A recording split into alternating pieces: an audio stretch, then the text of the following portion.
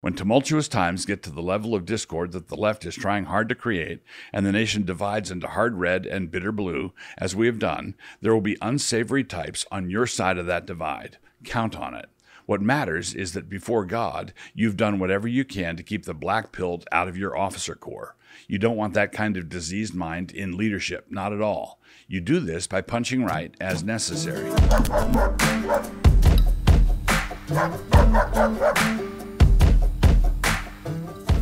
Introduction I was recently interviewed by Religion News Service and by some friends at New Founding, and in both interviews the same issue came up. As a consequence, it naturally occurred to me to bring it up here again. These things bear repeating, I don't mind it, and it is helpful to you. Philippians 3 1. The balance beam itself. Here's the basic principle I take it as axiomatic that in times like ours, it is necessary for faithful ministers of the gospel to be accused by the left of racism, misogyny, white supremacy, and puppy kicking. If you are in ministry and you are not accused of such things, at a bare minimum, you should start praying about it. Lord, am I missing something? The other side of the same principle is that the accusations need to be a genuine slander. They need to be false. So there it is in a nutshell. The accusations thrown at your head need to be piled up around your feet, and there should be a goodly amount of them. And when you look down, you need to see a broken collection of lying oddments. So there are two parts to this. The accusations need to be thrown at you, and the accusations need to be false. Quote, if you be reproached for the name of Christ, happy are ye, for the Spirit of glory and of God resteth upon you. On their part he is evil spoken of, but on your part he is glorified. But let none of you suffer as a murderer, or as a thief, or as an evildoer, or as a busybody in other men's matters. Yet if any man suffer as a Christian, let him not be ashamed, but let him glorify God on this behalf. 1 Peter 4 14 through 16. If you've been promoted to the privileged place of being lied about, the Spirit of glory rests on you. But the lies really need to be lies, and the reason for the reproach needs to be the name of Christ, and not a matter of you dabbling in genuine evil doing. But there's a snare here. There are good men out there who have learned that they need to take abuse for the sake of Christ, but they do not yet see the glory in it, and they have not yet learned the divine art of what Thomas Watson would have called not caring. When the accusations are thrown, they hasten to prove to their accusers that these are false accusations. But there's a snare.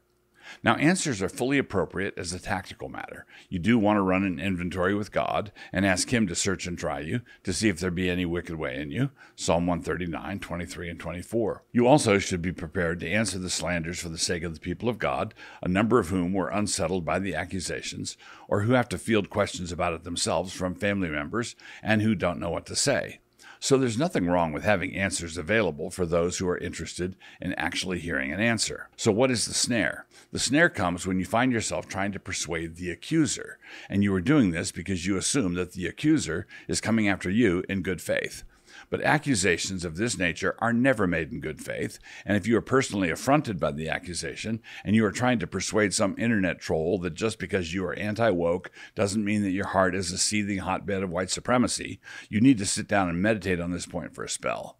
You need to save your breath for walking uphill. You need to save your breath for cooling your porridge. If you feel stung by one of these taunts and you turn to answer them as though answering them is even a possibility, what you are doing is taking this particular tar baby upstairs to the bathroom and giving it a bath in olive oil. Nothing you are doing is going to make anything better, not even a little bit. And somebody is going to say that this Tar Baby reference is problematic because it comes from the Brer Rabbit stories written by Joel Chandler Harris, a white guy who dared to appropriate black traditions and slave dialect, but which was nonetheless memorialized by the miscreants at Disney in Song of the South, a sin for which they are still trying to atone. And I think I may have lost the thread here. Okay, right. If somebody says that I can't use Tar Baby references, I'm going to Tar Baby reference even harder. I do this because accusations from the left are not being made in good faith. If I'm notified that someone over in the left field bleachers is concerned about my evident white supremacy, the expression on my face will resemble that of the Buddha when contemplating a lotus blossom. One more snare. The left loves to argue on the basis of associations. They can prove your white supremacy by doing the Kevin Bacon thing. You blurbed a book that was written by somebody whose brother once attended a Klan rally. So don't you need to do more to denounce this kind of thing? And the answer to that is no. I've written two books on race relations already, and I've turned in the manuscript for a third one. How many do I have to write before you stop asking me to dance to your tune? The reason my denunciations don't win me any virtue points with them is because my denunciations are grounded in the absolute authority of Jehovah's law word. And that is the very thing they are running from. And I write these sorts of books not to answer the left, which would be but to yell at the moon, but rather to teach the people of God. I am seeking to protect and equip the saints, not dance to the tune of sinners. Denunciations grounded in the hurt feelings of an oppressed class are nothing but intellectual fertilizer for the growth and nurture of commie weirdos. Denunciations grounded in Scripture remind us all of a day that is coming when God will judge the thoughts and intents of every heart. When tumultuous times get to the level of discord that the left is trying hard to create, and the nation divides into hard red and bitter blue, as we have done, there will be unsavory types on your side of that divide. Count on it.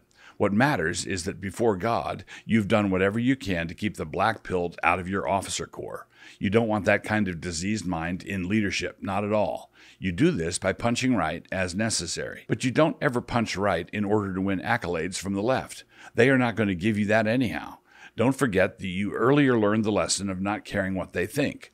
You punch right because you are keeping diseased minds out of your leadership, and you're doing this because diseased minds make lousy decisions. They wreck things. You are doing it because God requires it. Okay, one more snare. So you're coming to the realization that you have to take a stand, and you have to do it on the basis of God's word. To your left will be woke Christians, those who have gone over to the enemy. Woke Christians are the Quislings. In between you and the woke Christians are those Christians who are still orthodox, but who feel bad about not being woke. They are not part of the left, but they are steered by the left. They aren't doing bad things, which is good, but they have not yet entered the good fight, which is bad. They are the ones who think that you should answer the accusations of the left, believing the accusations to be good faith accusations. But we covered this earlier, and they are not. A tad bit closer to you are those who are fighting the good fight and are being accused of all kinds of things, indicating their very real faithfulness, but who have not yet learned the Buddha lotus blossom thing. But enough about Owen Strachan. To your right are a motley assemblage of midwits and assorted others who have learned the importance of not giving a rip about what the left says about ethnic issues, but have not yet learned the importance of what God says about them. They will look at you suspiciously as something of a compromiser, a ditherer, a friend of Mr. Halfway's, and in the pay of Mossad. Just laugh. They will come around when the fecal matter hits the rotating cooling device. And over beyond them are the black pilled Nietzscheans, with whom you have nothing to do.